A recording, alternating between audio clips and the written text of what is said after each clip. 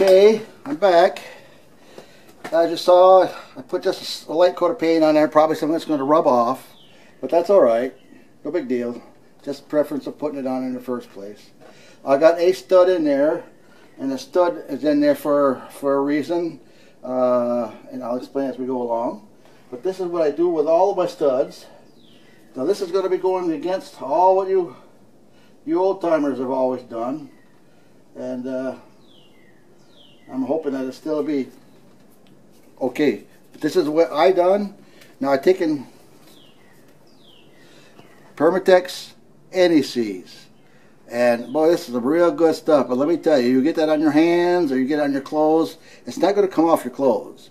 And using the portable sink that I told you about with the Dawn soap will take it right off and you can you can lower it and eat lunch.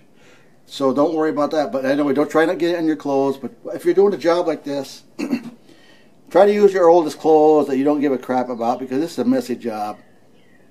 And I'm not going to lie to you about it. So anyway, get this anti-seize. You're going to really like it. it costs around $10. That's what this cost. All my new studs, they cost me $11 a piece. The nuts cost $5.40 a piece. And I went online and it cost a whole heck of a lot more than that. I had to search around and found a guy that, that sold to me for this price that I need. And the, the two reasons that you probably would uh, change your studs out, as I told you before, is they may not be long enough for putting on aluminum wheels, or they, the studs may be damaged from uh, either hitting with a hammer or a tool or stretched with a one inch gun. And if you see somebody with a one inch gun, kick them right straight in the testicles. They don't don't let them put a gun on you. I, am just telling you. What I, that's why I had to uh, change up mine, all of mine here. Now just figure out how much that costed. It's good. I guess it's a little over two hundred dollars per wheel, all the way around that I had to do. So you can see that it's not cheap. And uh, I'm only trying to give you uh, just a couple of tips here. Uh, so if you do change them out, make sure that nobody ever touches them again other than yourself. So anyway, this Permatex I put on here, this is the part of the stud that comes in from the back. This is the part that actually seats into the, uh, the wheel hub here. And as you see, it's got serrations in it all the way around. Well, so does the so does the the hub itself, but they're real. They're not real deep, but they're just enough where these when you put the stud in, it'll it'll like try to find the least resistance, and and then the, you can't turn the stud anymore, and that's where the best position is to uh, to try to put the the stud into the uh, the wheel hub. But anyway, I, I give this a little help. I give it a lot of help, and you're going to see why. I give it uh, coat the part that's going to be going in into the the seating area. Make sure make sure you, you get this chamfer area right here. Okay? Now, don't worry about putting this stuff all on. Everybody oh, you're to... They're supposed to be put together dry and all. Oh, that's BS. Anyway, I've been an assembler for all my life, for crying out loud.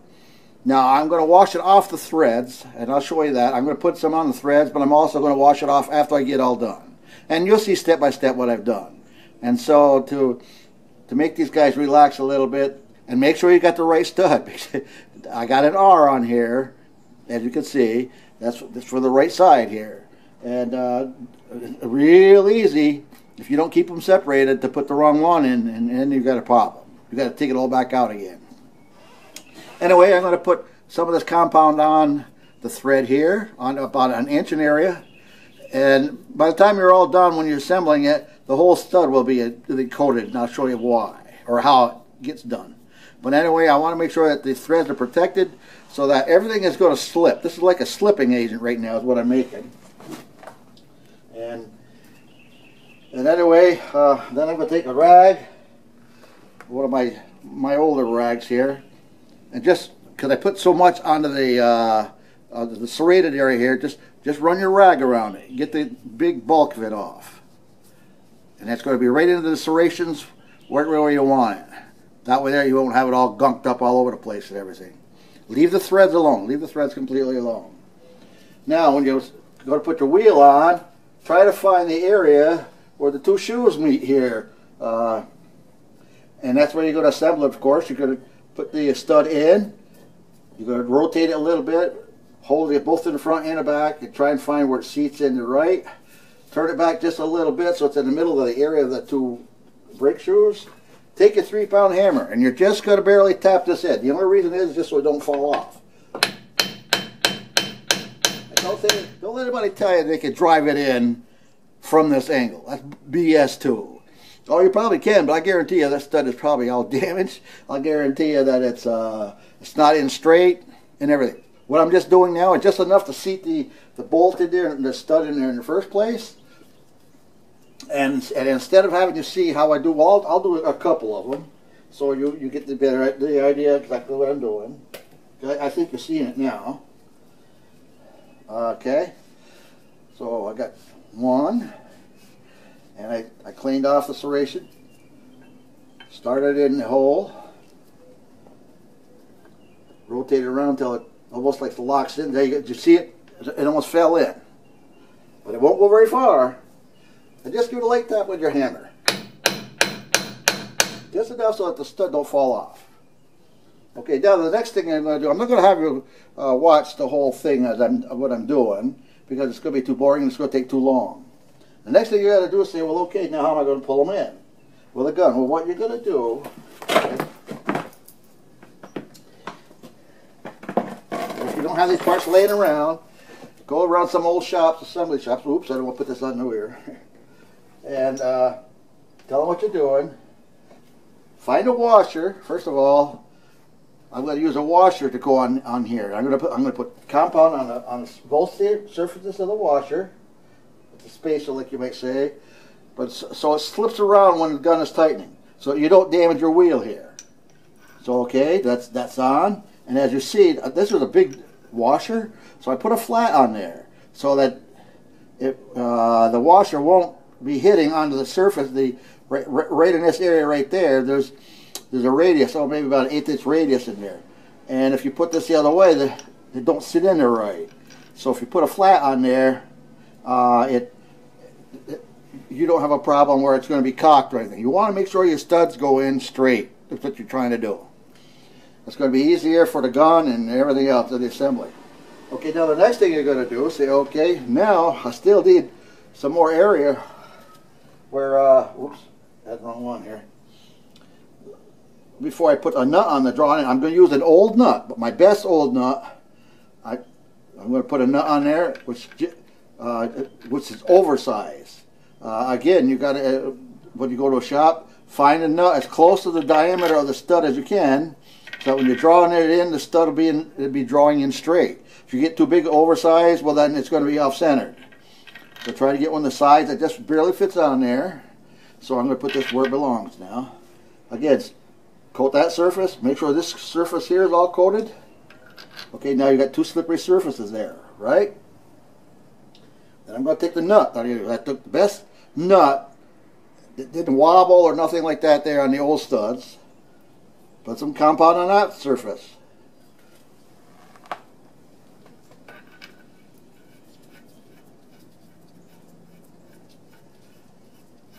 And the best thing to try to do is don't run it down with the gun right off the bat because uh, you don't want that washer to spin around that you got in in the first place. But if it starts to turn, well, it can't go very far because the flat's going to hit on the radius and then that's, that's be the end of it. So now, before you use the gun, I want you to get the habit of, if you want to, uh, know how messy that stuff is, boy, it's hard to get it off. But have your your portable sink with you. You see how gunky my hands are? With these gloves on now. Just imagine if that was on my hands. So I'm going to use my uh, portable sink. Just rub it on the stud, on, on the gloves. I have a rag. I'm just using an old work rag, but you can see, I just want you to see how good that damn Dawn soap is. And it takes that stuff all off. That anti-seize. And it'll take it off your hands too, if you get some on there. Okay, so now I'm going to put my, my other earplug in there, because I want to be sure I heard myself when I was talking to you. Now let me think me for a second. Is there anything else I want to tell you before I start drawing that in? I'm going to start drawing it in, and as soon as it starts getting really tight, remember I got a small uh, small air tank. So as soon as I start drawing it in and it starts getting tight, I'm going to stop. I'm going to put all of the studs in until they all go to almost the same distance. And you can see right here, they're around three eighths of an inch before that stud is bottomed down all the way. So I'm going to draw them all up to the same position all the way around. And then I'm going to, uh, again, start from the beginning. And then I'm going to have to, I'll show you how I have to do it with the gun and the small air tank. Don't tell me you can't do it because I'll prove to you that you can. Uh, but it's, it take, it'll take you almost all day to do this job. But it's worth it. You save yourself a couple hundred dollars, maybe more. And it's going to cost you $200 just for the parts. So try to save yourself money here and uh, and uh, do a good job. And I'm sure it's going to be better than what most of the people that would do it on the outside because I'm not going to be as careful as what you are. And I guarantee you, none of these studs are going to be damaged. The ones I took out, the heads of a lot of them were all damaged from being hit with a hammer and everything else. And oh crap! Well, anyway, let's see what we can do with the gun here. Now, what I've got is a three-quarter inch drive gun, made in Japan. I've had this gun over 20 years now. Made in Japan. I got it from Montgomery Ward's. It was a craft. No, I, I got it from uh, Sears. It's a Craftsman. It's a three-quarter inch impact uh, wrench. The boy, this baby's got some guts. And like I said, it's made in Japan. I love it. And I'm glad I didn't sell it. So anyway, I got it so it's going to the, okay, I got going to the uh, right position. I, I, should put my other gloves on, but for, for purpose of uh, showing you this here, and then I'm going to put the other studs all in. I'm going to get all gunked up anyway. But I just want to show you how I'm going to get the stud in. And then I'll, uh, I'll come back later and show you how I draw, finish drawing them in. But anyway, I just want you to see how I do it. And watch, all the parts will rotate nice and easy. And then all of a sudden they'll start getting tight because that stud gets really tight and going into the hole. And uh, here we go. Now I'm not sure where my tank is, my air tank is. It might be just ready to kick on, so we'll just see. I might have to wait for it to build up for a minute.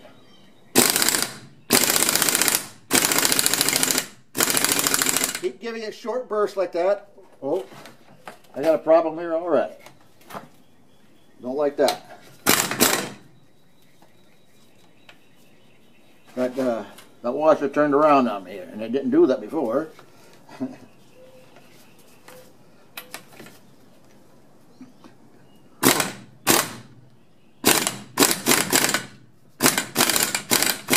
I guess, well, it appears to be sitting flat after all. So give it about four bursts and then stop. Give it a moment.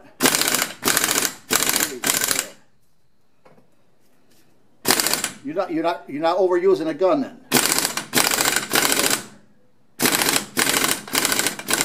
Now if you got a big you got a compressor that puts out 100 PS, 120 psi at all times, well then you don't have to do that.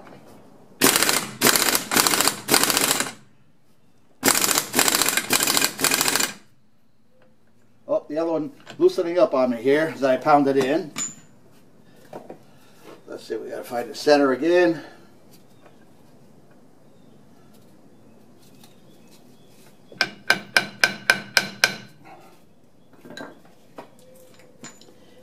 So what you do when uh, you hit it in like that, you might have to go back and draw that in a little bit. Now, these parts are covered with that gunk. Alright? And you just barely put them on. You barely put them on. Take your, your little tool here, your little brush, start right from the beginning. Put some gunk on the on the washer as it goes around. On that surface here as it goes around. On the nut. The washer spacer nut. On this other side of the nut. You can rotate it around, not even have to move the, uh, the brush. Now, put it on your drawdown nut. Now every surface that's going to be touching each other is uh, it's got lubrication. Okay. Now, okay, here we go again.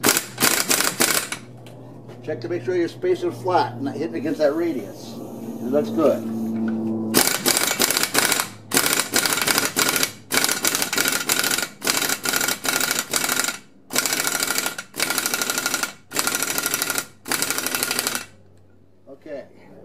That's as far as I'm going to go right now because I want to put them all in. I don't want to waste time uh, or hold you, hold you uh, unnecessarily uh, on the video watching it. But uh, that's going to be the procedure what I'm going to do all the way around. I'm going to tap them all in first, then I'm going to just draw them in just a little bit. And then I'm going to concentrate on one at a time and draw it completely in. So uh, I hope this was helpful to you. I'll see you next time.